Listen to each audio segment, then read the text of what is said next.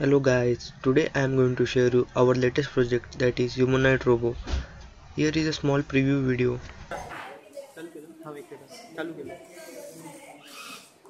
Hello world. Welcome to MGM College. nice to see you for Visotech. My name is Sisja. I am humanoid robot. I can move my head. I can help you.